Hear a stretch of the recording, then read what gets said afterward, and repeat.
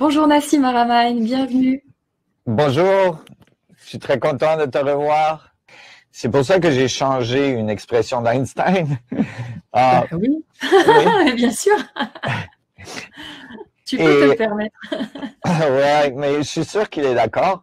Euh, le, j'ai changé le concept de l'espace-temps à l'espace mémoire. Parce que sans mémoire, hmm. ouais, parce que sans mémoire, il n'y a pas de temps.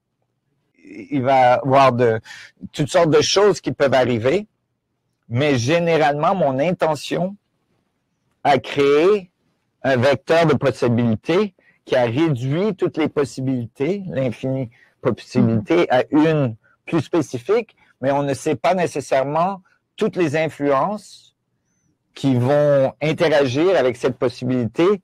Donc, on, a une intention, mais c'est une intention reliée à tout le reste des, des intentions dans l'univers où on réécrit notre histoire à chaque instant dans nos mémoires. Bonsoir à tous. Nous sommes en direct avec euh, Rav Benchetrit ce soir. Bienvenue.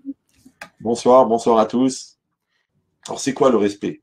Le respect, c'est l'espace que je crée dans la réalité entre moi et celui que je veux faire exister.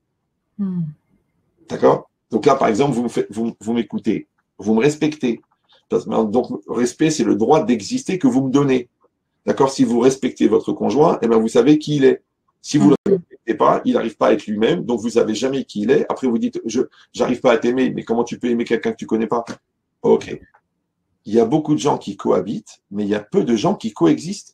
Si j'ai n'ai pas fait ce que, j'appelle de la musculation existentielle, d'accord? C'est-à-dire que en assumant à travers une expérience dans un phénomène d'existence, ouais, eh ben je fabrique ce qu'on appelle par résonance la maturité.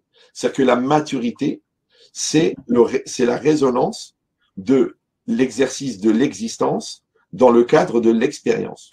Donc ça fait beaucoup d'ex. Vous savez comment ça s'appelle? Le malaise généré par la différence entre le moi intérieur et le moi extérieur? Non Le stress. C'est ça le stress. Le stress, c'est le malaise développé par la différence entre le moi intérieur et le moi extérieur. Donc si tu as, 20, as 30 ans dehors et, 15 ans dedans, tu es stressé, c'est normal. Ah, maintenant, toi, pourquoi? Est-ce que quand tu as un conflit avec un, avec un patron, euh, tu n'arrives pas à répondre Et après, quand tu es dans le métro, ah, j'aurais dû lui dire ça. Ouais, après, quand, euh, après, après la, dispute, ah tiens, j'aurais dû faire ça. Après la vente, j'aurais dû négocier. Pourquoi tu vis la vie en différé? Tu sais pourquoi? Parce qu'il y a trop de distance entre ton moi intérieur et ton moi extérieur. Et premièrement. Et deuxièmement, parce que tu me dis pas ce que tu penses. Mais pourquoi tu ne dis pas ce que tu penses? Parce que celui qui pense, il est dedans. Mais celui qui dit, il est dehors comme il y a une trop grande distance entre celui qui dit et celui qui, qui pense, et que toi, en vérité, tu n'as même pas le recul de penser ce que tu penses, donc automatiquement, tu dis pas ce que tu penses. Ou alors tu le dis, mais après, et c'est trop tard, parce que l'histoire, elle est finie. Donc je vous remercie d'accueillir ce soir Luc Biget, qui est auteur, symboliste, docteur en sciences, et il se définit comme un explorateur d'interstices. L'aboutissement, en fait, du, du, du de l'humanisme, c'est le transhumanisme. Et le transhumanisme, c'est quoi? C'est vraiment l'apogée du mythe de Narcisse.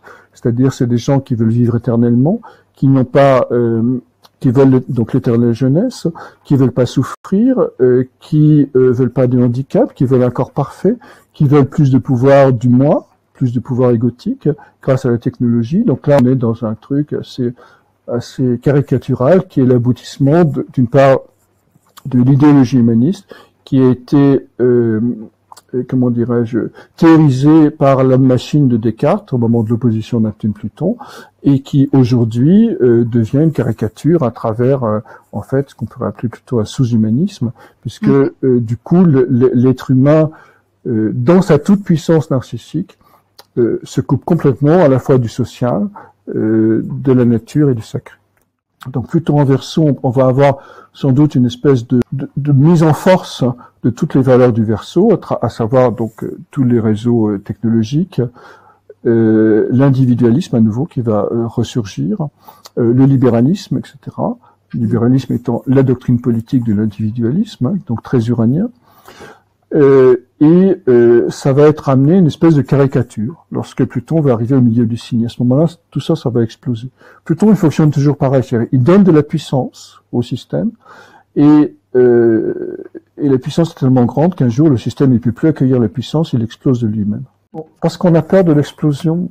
Euh, l'explosion, c'est le, la renaissance du vivant. Mm. C'est jamais que les formes qui explosent. C'est pas grave. C'est pas grave. Et c'est même une bénédiction du reste. Parce que, je veux dire, euh, si les formes, si on ne mourrait pas, euh, comme d'ailleurs l'espèrent les, transhumanistes qui, qui cherchent l'immortalité, si on ne mourrait pas, bah, il y aurait plus d'évolution ni à la biologie, ni à notre histoire.